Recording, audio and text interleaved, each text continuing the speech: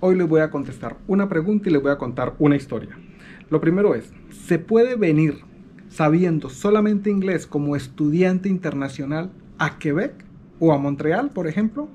Y la historia, bueno, es un poquito más larga, así que paso a explicarla. Les voy a contar el truco que utilizan muchos estudiantes internacionales que hoy en día están aquí en este país estudiando cómo es que hacen ellos para conseguir el dinero, incluso si son de familias pobres. Después de hablar con muchos estudiantes internacionales, he notado que la mayoría de ellos vienen de familias muy pobres. Es decir, en sus familias, en sus países no tienen el dinero para mandarlos a estudiar acá y menos para mantenerlos. Entonces empecé a preguntarle, bueno, ¿y ustedes de dónde sacan la plata? Y rápidamente me di cuenta que el truco para la mayoría de ellos es el mismo. Por cierto, este es el College Vanier. Toda la formación de este college es en inglés. A nivel de college privados hay muchos, la mayoría, el 90% de las instituciones que dan aquí formación privada es, es en inglés. ¿Por qué? Pensando en ustedes, en los estudiantes internacionales. Hay una especie de mito y de creencia por ahí que dice que todas las personas que vienen a estudiar en Quebec tienen que hablar francés. No, eso es mentira. El 90% de los estudiantes que vienen de afuera solamente hablan inglés. Por eso la mayoría de los colleges están en inglés. Los públicos por ley deben ser, deben ser en francés. Pero hay excepciones, como ya vieron. Aquí en esta ciudad hay tres colegios públicos que también reciben estudiantes internacionales. ¿eh? A resumir, sí puedes venir a estudiar aquí sabiendo solamente inglés. Sí se puede. De hecho, la mayoría de los estudiantes internacionales solamente hablan inglés y nunca, pero nunca van a aprender a hablar francés. ¿Por qué? Porque una vez tengan la residencia permanente o el permiso de trabajo, pueden irse a estudiar a cualquier parte del país. Así que la mayoría arranca para Vancouver o para Toronto o incluso para alguno de los municipios pequeños del el programa piloto. Eso es clave. ¿Por qué? Porque la educación en Quebec es más barata incluso para los internacionales.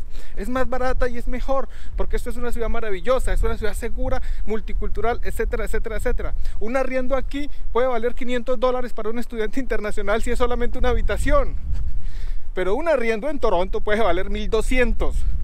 Así que los jóvenes vienen a estudiar aquí, una vez terminan y obtienen el permiso temporal para trabajar, se van a buscar trabajo, ya sea al programa piloto de las provincias del norte o al programa de las provincias del Atlántico.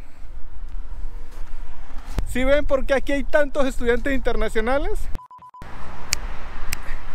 Hace tanto frío que los dedos no suenan. Pero hoy les voy a contar una historia que es 100% verídica, pero desde ya les cuento que es ilegal. Así que no se pongan con vainas a hacer esto porque es ilegal. Ustedes dirán, Nelson, pero es que necesito dinero, quiero ir a estudiar y no tengo plata, entonces voy a hacer lo mismo. Hay mucha gente que lo hace, hay miles de personas que lo hacen, sin embargo yo no recomiendo, no recomiendo que lo hagan, ¿ok? Si les cuento esto es para que se enteren, es para que sepan, es una especie de reportaje contándole las cosas que hace la gente. Es un dato más que ustedes van a tener ahí en su cabeza. Entonces, les voy a contar la historia de mi amigo Claudio. Él es una persona que está estudiando acá inglés. Él vino como turista, lo cual es completamente legal que tú vengas como turista. Te dan una visa por, para que estés acá por seis meses máximo y puedes estudiar cualquier cosa. Cualquier cosa que dure de menos de seis meses es, es legal que la estudies. Él está estudiando inglés, un curso intensivo de inglés, seis horas al día, cinco días a la semana. Paga cinco mil, pagó cinco mil dólares por cinco meses cinco meses de inglés intensivo. Entonces yo le pregunté, ¿y usted de dónde sacó la plata? Porque él me había dicho que la familia era pobre, me había dicho que no había nadie que lo pudiera ayudar y me había dicho que después que terminara el curso de inglés iba a venir a estudiar, pero ya como estudiante internacional pagando 15 mil dólares al año por una formación y se iba a estar dos años mínimo. Claro, ahí sí podría trabajar, pero igual necesita demostrarle por lo menos 25 mil dólares al gobierno porque se va a traer a sus, a sus dos niñas y a su esposa. Entonces, hermano Claudio, ¿usted de dónde sacó ese dinero? ¿Cómo hace usted si usted no, supuestamente no tiene dinero?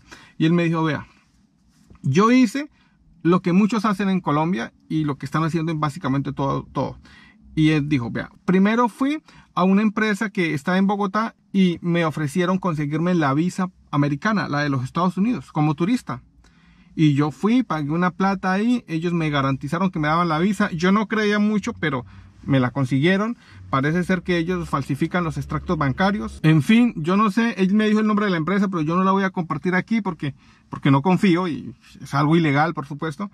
El caso fue que él consiguió eso le dieron la visa, se armó una historia de viaje, de turismo supuestamente que iba a hacer en los Estados Unidos. Llegó al aeropuerto de Los Ángeles, aparentemente iba a ir por allí, por allá, iba a hacer un tour, mejor dicho, si iba a estar un buen periodo en los Estados Unidos. Ya tenía el tiquete de regreso, cinco meses y medio después. Y bueno, el oficial le permitió la entrada, después de todo tenía la visa. Y dijo, y en menos de 24 horas ya me habían conseguido papeles falsos, supuestamente era una persona, un inmigrante legal. Pocas horas después ya estaba trabajando en una fábrica haciendo chorizos, ganándose 13 dólares y medio, más las horas extras. Entonces dijo, yo trabajé, trabajé, trabajé y durante cinco meses yo no gastaba en nada, yo ahorraba, yo arrendé un apartamento junto con otros personas que estaban trabajando de ilegales ahí, yo pagaba 400 dólares por dormir y por cocinar, y era de la casa al trabajo y del trabajo a la casa, y él dijo, vea, y en menos de seis meses me levanté 60 millones de pesos y dijo, y cuando llegó el momento, pues me regresé a mi país y sin romper la ley, supuestamente puedes estar seis meses en Estados Unidos, pues él estuvo como cinco meses y medio, regresó al país y desde Colombia empezó a hacer el papeleo para conseguir la visa de turista. Como ya había entrado a los Estados Unidos y pues ya tenía dinero real, entonces se la, se la dieron relativamente fácil y se vino como turista a Canadá a estudiar inglés quería venir a estudiar inglés acá porque primero es más barato que en Estados Unidos, o sea, la vida en general es más barata, y segundo, porque él pensaba pues inmigrar. Estados Unidos no brinda las mismas capacidades para inmigrar como, como Canadá, y él dice, no, yo, Estados Unidos bacano para ir a trabajar, para hacer dinero, pero Canadá para la familia, ¿cierto? Más seguridad, más tranquilidad, más todo. Se vino solo aquí estudiando inglés intensivo, ya con lo que había estado en Estados Unidos lo había medio aprendido, aquí vino a perfeccionarlo, ya lo habla muy bien y se está a punto de vencerse en sus seis meses y se va a regresar para los Estados Unidos. Después de todo, él tiene la visa. Se va a ir otra vez para la ciudad donde estaba trabajando, pero como ya habla inglés y ya tiene más contactos, pues ya no se va a ganar 13 dólares y medio. Quizás él espera ganar un poquito más y con las horas extras y eso, él piensa pasar lo mismo, unos cinco meses y medio allá y de allá regresar a Canadá, no va a regresar a Colombia, va a regresar a Canadá ya como estudiante internacional. Él dice que con el dinero que gane allá, pues va a poder pagar eso. Regresará como estudiante internacional y a venirse aquí a hacer las cosas bien, juicioso en Canadá. Como estudiante internacional podrá traerse a su familia, como ya dije, su esposa podrá trabajar, él también podrá trabajar medio tiempo y pues los ahorros que tenga de extra pues le servirán pues para la supervivencia, ¿no? Para el día a día. Una cosa es estar aquí solo y otra cosa es ya estar con la familia. Cuando ustedes se pregunten, ¿cómo hizo fulanito de tal para poderse ir, a Canadá, para, para poder pagar sus estudios? Probablemente hizo eso. ¿Es ilegal? Claro que es ilegal. Es ilegal porque está trabajando en Estados Unidos con una visa de turista. Si lo descubren, lo deportan. Y probablemente eso, aunque no sea así como definitivo, sí podría un poco retrasar el proceso de inmigración a Canadá. De todas maneras, aunque es ilegal, es lo que están haciendo, no millones, pero sí miles de personas eh, de México, de toda Centroamérica, de Venezuela, de Colombia, de, Perú, Argentina, de Brasil, de África también, de todas partes lo están haciendo. Porque mira, hay pobreza y en nuestros países no todas las personas tenemos las mismas posibilidades. Hay gente que tiene familia, hay gente que tiene educación, hay gente que tiene privilegios, pero la gran mayoría no los tiene.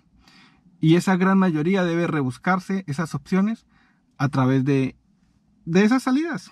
Lamentablemente es así, pero también lamentablemente esa es la única forma que tienen esas familias de salir adelante, de ver la luz, de, de ver la posibilidad de mejorar sus vidas. Entonces, como dije antes, no es algo que recomienda hacer, pero es algo que mucha gente está haciendo. Espero que les haya gustado esta historia o este pequeño reportaje. Y bueno, a todos ustedes mucha suerte, un gran abrazo. El día de hoy está muy frío, muy Canadá. Los quiero mucho. Primero, quiero aclarar que esto es ilegal y no te aconsejo que lo hagas. Segundo, si les cuento esto, de nuevo, no es para que lo hagas es para que te enteres, es más bien un reportaje periodístico. Así que por favor no te sientas ofendido y no digas que los estoy motivando a que hagan algo que no deberían hacer.